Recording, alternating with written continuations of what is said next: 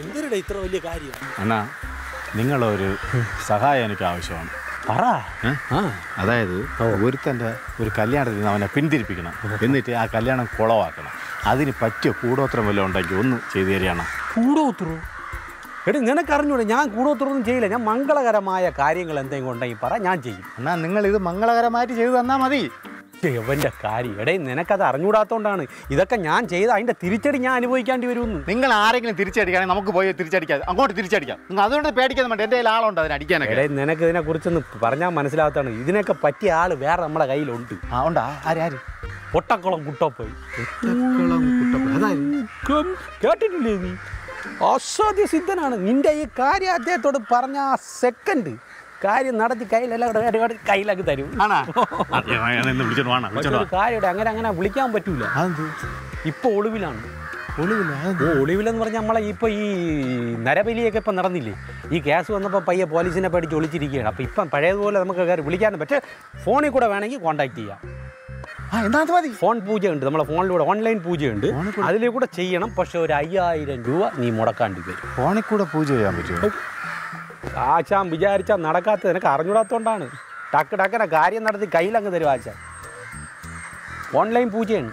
ആണോ? ഒരു അയ്യായിരം രൂപ മുടക്കാൻ കയ്യിലുണ്ടാ. അയ്യായിരം രൂപ ഇപ്പൊ കയ്യിലില്ല പക്ഷെ സംഘടിപ്പിക്കാം. പറ്റുമല്ലേ ബാ. ആണ്? കാര്യം നടത്തി കൈ തരും. ഞാൻ തമാശ ആശാനെ ആശാന്റെ സിദ്ധി നിങ്ങളെന്ന് പറഞ്ഞോണ്ടല്ലേ എന്റെ ദൈവമാണ് കൺകണ്ട ദൈവമാണ്. ഞാനല്ല അല്ല ആശായി. ഒട്ടാക്കുള ആശ ആരെന്നറിയാ വാ. എന്നാലും എന്റെ സെല്ലേ ആ അങ്കിളിനെ കാണാൻ എന്തൊരു ഐശ്വര്യമല്ലേ ഒരു പ്രത്യേകതരം പ്രൗഢി സത്യമളിയാ അങ്ങേർക്ക് ഈ പ്രായത്തിൽ ഇത്രയും ഭംഗിയാണെങ്കിൽ അങ്ങേരെ മോൻ എന്ത് ഗ്ലാമർ ആയിരിക്കും അല്ലേ ഉം. ആ ചിലവർക്കൊന്നും ഇവിടെ അതിന് ഭാഗ്യമില്ലാണ്ടായി പോയി എനിക്ക് ആ ഭാഗ്യം വേണ്ട കേട്ടോ? ഇവിടെ അറിയാൻ വല്ലാണ്ട് ചോദിക്കോ നിനക്ക് ഈ ജോലിക്ക് പോയാലേ ഒന്ന് മര്യാദയ്ക്ക് ചെയ്തിട്ട് തിരിച്ചു വന്നൂടെ? ആ ആളിയാ അതല്ലേ ഞാൻ ആലോചിക്കണത്. എടാ നീ ശരിക്കും എന്തിനാണ് ജോലിക്ക് പോകണം ആൾക്കാരെ കൊല്ലാൻ വേണ്ടിയിട്ടാണ്? ഇപ്പോഴാണ് എനിക്കൊരു കാര്യം മനസ്സിലായത്. ഹോസ്പിറ്റലുകാരെ പറഞ്ഞു വിടണം എങ്ങനെയാന്ന് ആലോചിച്ചിട്ടാണ് ഇവൾക്ക് ഇടക്കിടക്ക് ലീവ് കൊടുക്കുന്നത്. എന്നാ നീയൊക്കെ നോക്കിക്കോ. നിന്റെയൊക്കെ മുന്നിലൂടെ ഞാൻ ഞങ്ങളെ മുന്നിൽ കൂടെ നീ നല്ലൊരു പയ്യനും കേട്ടി സുഖമായിട്ട് ജീവിക്കുന്നല്ലേ? കേട്ടിട്ടുണ്ട് കേട്ടിട്ടുണ്ട്. ബാക്കി പൊടി പട്ടികളെ ബാക്കി ഇതാണ്. ബാക്കി വേറൊന്നുമില്ലേ? കണ്ടാ പോയത് കണ്ടാ എടി നിങ്ങൾ ശരിക്കും ഡയറ്റീഷ്യൻ ആണടി എടി അതല്ലേ അങ്ങനെ ഇത്രയും പറ്റി പുകഴ്ത്തി പറഞ്ഞിട്ട് പോയത്? മനസ്സിലായില്ലേ എനിക്ക് ഇത്തിരി പെണ്ണാണോ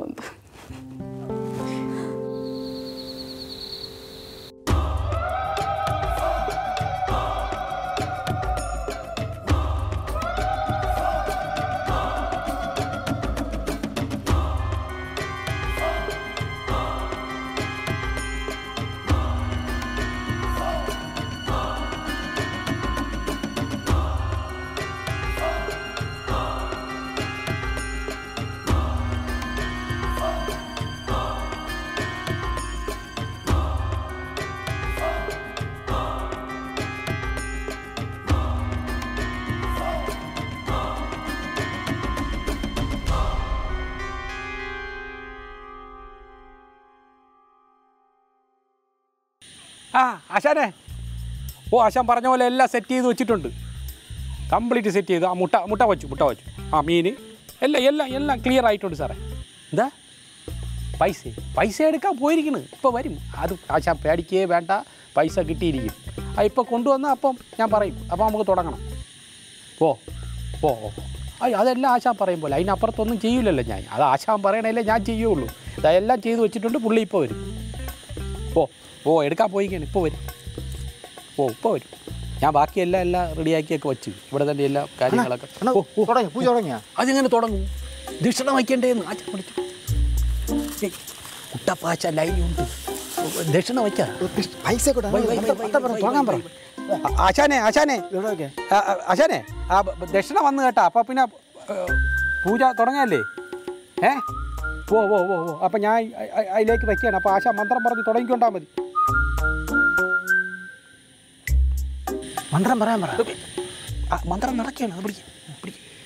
എന്തിനാണ് കാര്യം വേണ്ടത്? അത് മനസ്സിൽ ധ്യാനിച്ച് കണ്ണടച്ചങ്ങനെ ഇരിക്കും. ആ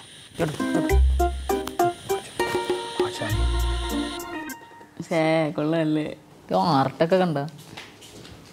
എടി സെലിനെ പോവേ. നീ എന്റെ റൂമിൽ നിന്ന് പൈസ കണ്ടായിരുന്നോ? ഏത് പൈസ? ഞാൻ നേരത്തെ എണ്ണിക്കൊണ്ടിരുന്ന അയ്യായിരം രൂപ. എനിക്കറിഞ്ഞൂടാ അതവിടെ കാണുന്നില്ല. കാണുന്നില്ല നീ ഇതിന് എന്റെ അടുത്തൊന്ന് ചോദിക്കണേ? നിനക്ക് മനസ്സിലായില്ല അവൾ എന്ത് ഉദ്ദേശിച്ചെന്ന് ഇല്ല. നീ അടിച്ചു മാറ്റിയോ എന്നാണ് അവൾ കൊളോക്കിരുമെന്ന് ചോദിച്ചത്. ആ അങ്ങനെ വല്ല അവൾ ഉദ്ദേശിച്ച അവളെ തല മണ്ടടിച്ച് ഞാൻ പൊളിക്കോളിയാ അങ്ങനെയാണോ നീ ഉദ്ദേശിച്ചത് നീ? അല്ലടി. ആ എന്താ വയറ് കെട്ട്. പിന്നെ?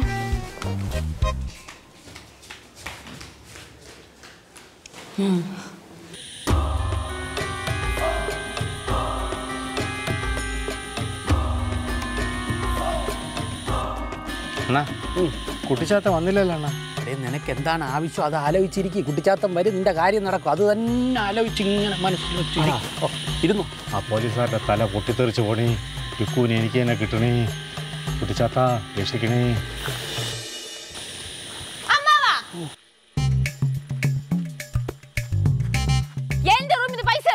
ഞാൻ പൈസ ഒന്നും എടുത്തില്ല. എന്റെ ആശാനാണ് എടുത്തില്ല. അമ്മാവൻ എടുത്തോ?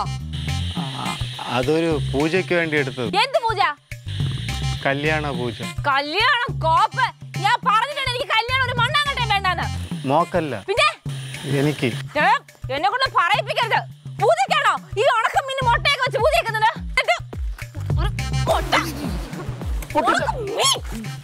കുട്ടിച്ചാത്തം വരാണ്ടത്